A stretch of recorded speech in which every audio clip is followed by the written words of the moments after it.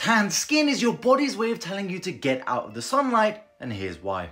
You see, sunlight can both directly and indirectly damage our body's DNA. And so when we get exposed to it, our skin tries to adapt to be able to increase the levels of melanin, which causes the tan, trying to absorb more of the sunlight so more DNA doesn't get damaged. Some of these mutations never fully go away, which is why the more sunlight we've been exposed to throughout our lifetime, the higher our risks of skin cancer. This is important as the general beauty standard in the West, which young people try to adhere to, is having bronze tanned skin. But if you naturally have very pale skin, then you're going to be more likely to burn rather than tan and be more at risk of these skin cancers.